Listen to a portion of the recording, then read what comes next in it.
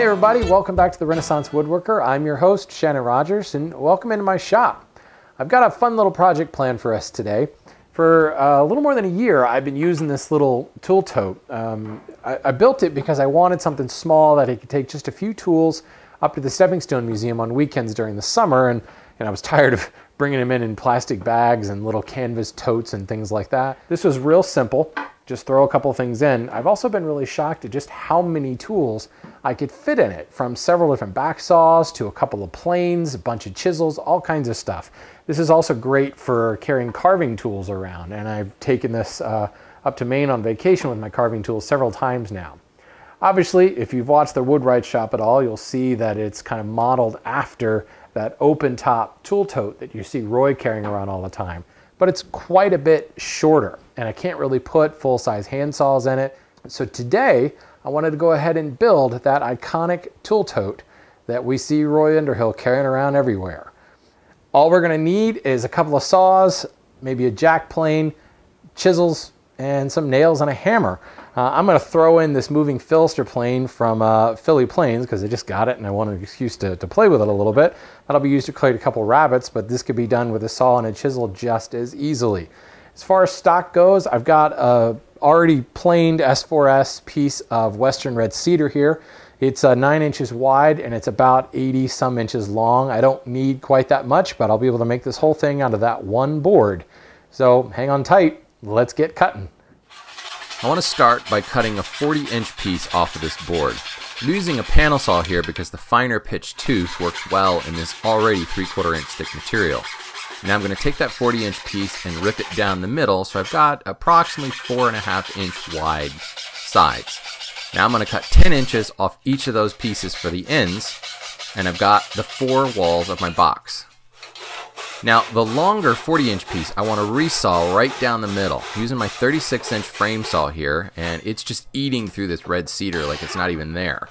So you want to make sure you flip it around and saw from both sides just as a preventative measure to keep your saw on that curve. Since it's moving so fast, it can get away from you real quick, and we don't have much material on either side of the curve. I love this saw. Every time I use it, I'm just amazed at how well it works and how quickly it works.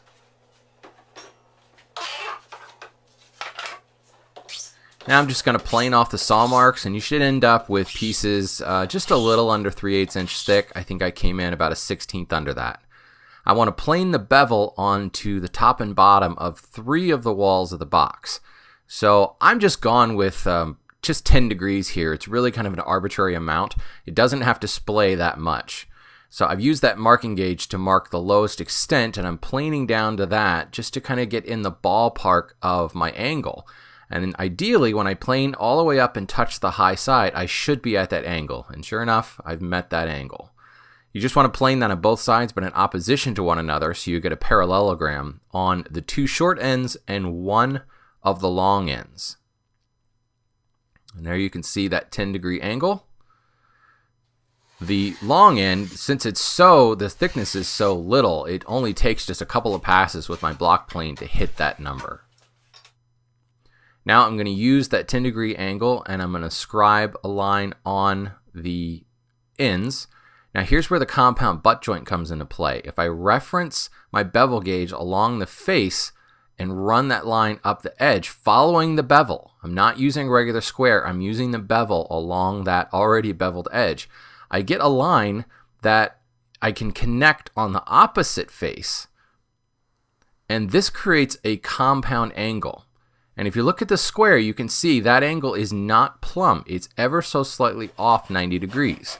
So as I cut this, look at the reflection of the saw at the start of the cut. You can see how it's not 90 degrees. It angles outward ever so slightly. This is truly a compound angle cut. So I'm sawing angle uh, in the X direction and an angle in the Y direction here. Now, my knife lines can reveal where I'm slightly away from that compound angle, so I'll just clean it up with a block plane.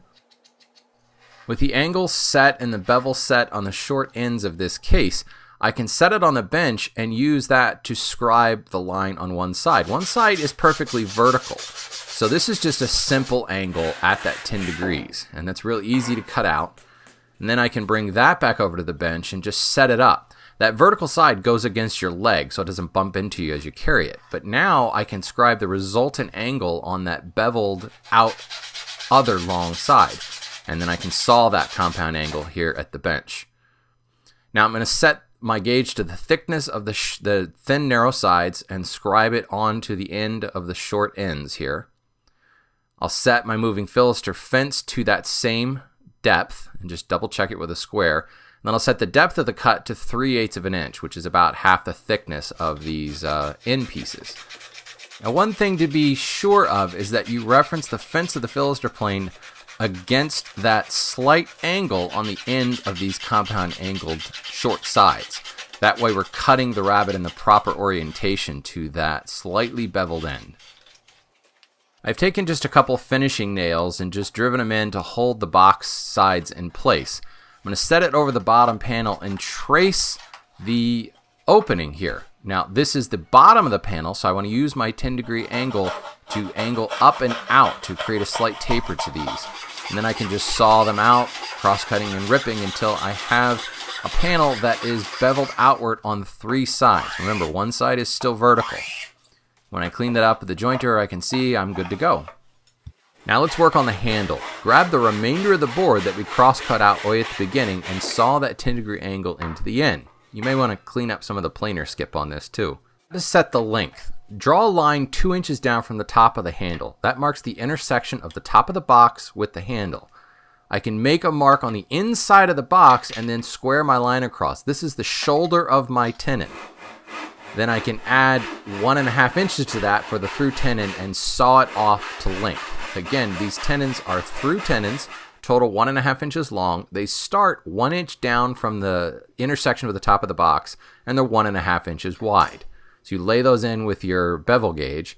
Then I'm going to connect the center of the handle to that intersection with the top of the box on the ends and draw on a line. This creates the taper for my handle. Now just saw out my tenons. And again, this is a, you know, it's a, a, simple angle. So if you are difficult or having trouble with it, you can set the piece in the vise so that that angle is now a plumb cut. And then just saw out the cheeks of this tenon and you'll expose this tenon. And you can see how it is actually angled to the board at that appropriate 10 degree angle so that it'll go through the sides. Now I'm just going to saw out this handle taper there is a flat at the top of the handle that's about six inches wide, and then it just slopes down an angle from there. You can kind of add your own flair to this if you want. I'll just clean it up and then kind of round everything over with my jack plane just so that there are no sharp edges exposed up here. Now I'm going to drill through the top. Again, I'm centered this one and a half inches down from the top, or rather two inches down from the top.